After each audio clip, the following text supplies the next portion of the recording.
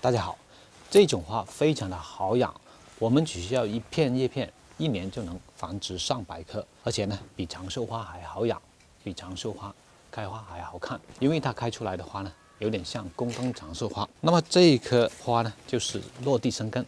大家看这些花非常的漂亮，而且呢，每次开花非常多，最关键是它比较好养，我们只需要一片叶片，一年就能繁殖上百棵。大家看一下。这一片叶是前段时间掉到这个花盆表面的，现在已经长出了很多的这个新芽出来，大家看到没有？这里这些、这些、这些都是新长出来的。所以说呢，只要一片叶遇到土就能活。平时养护的时候呢，只要我们下足底肥，基本都不用怎么施肥。像我这一棵，就是在给它上盆之前啊，在这个土壤里面加入百分之三十的这个干养分一起混合栽种。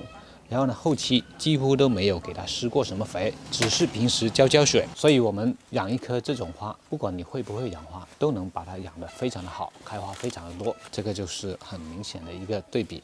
虽然说底下它长得差一点，但是开花还是非常多的。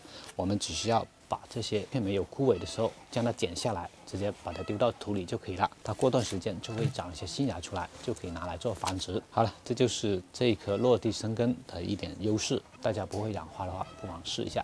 好了，这期就跟大家分享到这里，我们下期再见。